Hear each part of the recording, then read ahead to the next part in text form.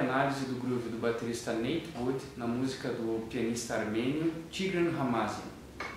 Eu confesso para vocês que a primeira vez que eu escutei esse disco chamado Mock Root, eu fiquei bastante perdido, já que eles tocam do começo ao fim do disco é, fórmulas de compasso e métricas nem um pouco comuns, digamos assim.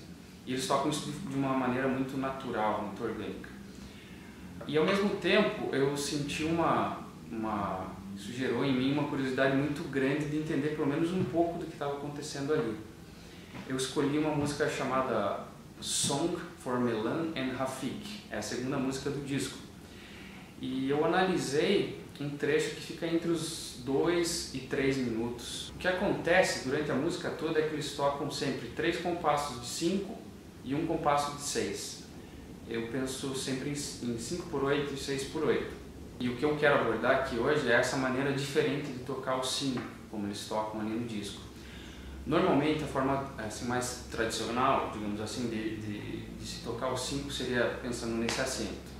1, 2, 3, 4, 5, 1, 2, 3, 4, 5, 1, 2, 3, 4, 5, 1, 2, 3, 4, 5. Ou ainda, 1, 2, 3, 4, 5, 1, 2, 3, 4, 5.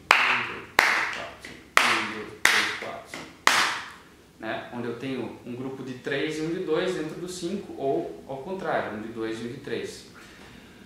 Aqui nessa música, eles abordam de uma forma diferente, como se tivesse dois compassos de 5 por 16 dentro de um 5 por 8, ou dois compassos de 5 por 8 dentro de um compasso é, de 5 por 4, se você estiver pensando assim. Fica mais ou menos assim.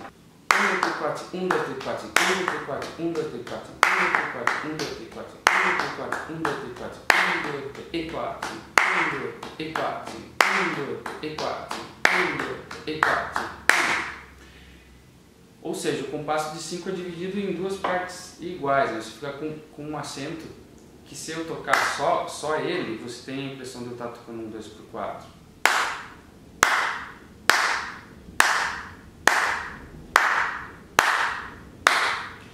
inverter, quatro, três Cinco. Um, dois, três, quatro. Um, dois, três, quatro. Certo? Antes de a gente chegar no groove da transcrição, propriamente dito, eu vou tocar alguns exercícios de preparação usando esse acento até a gente chegar no, no, no groove da transcrição, ok? Então, esse é o, é o groove número 1. Um.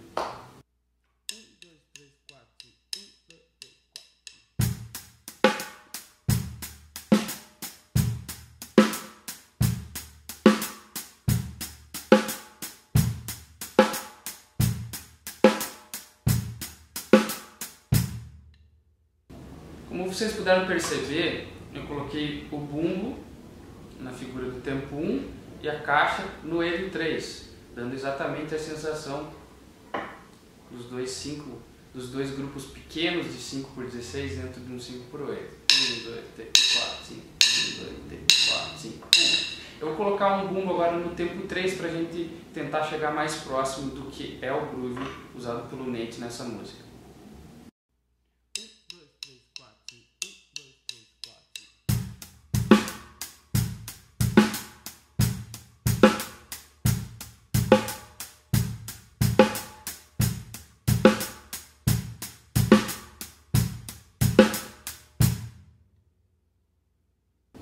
Certo. O exercício número 3 vai ter mais alguns bumbos. Vai ter um bumbo no E do 1 e um bumbo no tempo 5.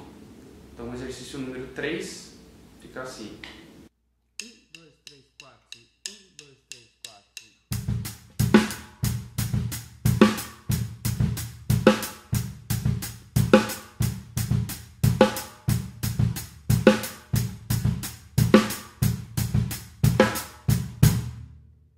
No exercício número 4, agora a gente já chega na transcrição do groove do Nate.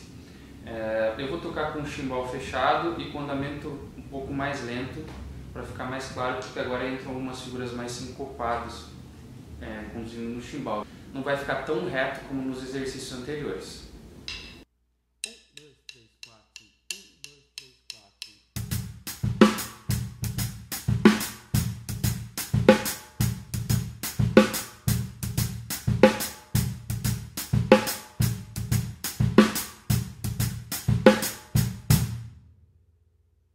Mais rápido ele soa da seguinte forma.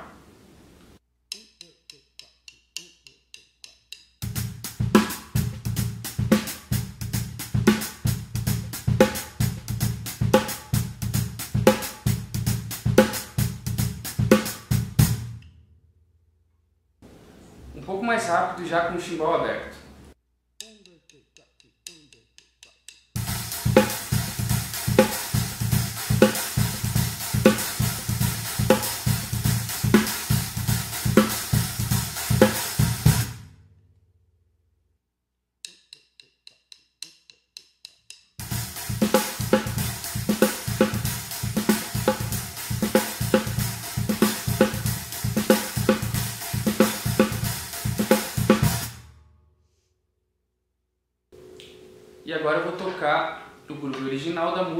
Usando a variação no quarto compasso.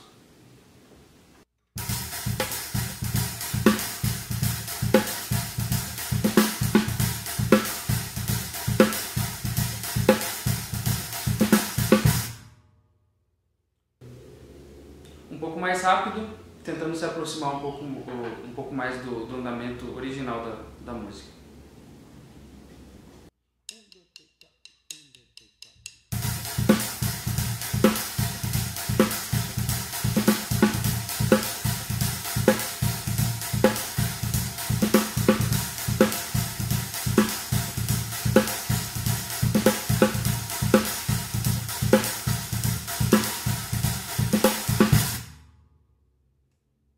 Bom, é isso aí, pessoal. Eu espero que vocês tenham gostado da transcrição, tenham gostado dos exercícios que eu preparei para vocês, para tocar o 5 de uma forma diferente, de repente saindo um pouco daquela coisa tradicional, né?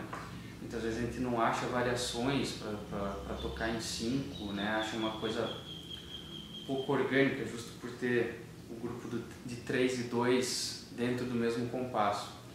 Dessa forma eu vejo que ele, ele se divide de uma forma mais natural. Eu espero que vocês tenham gostado e a gente se vê no próximo vídeo. Valeu!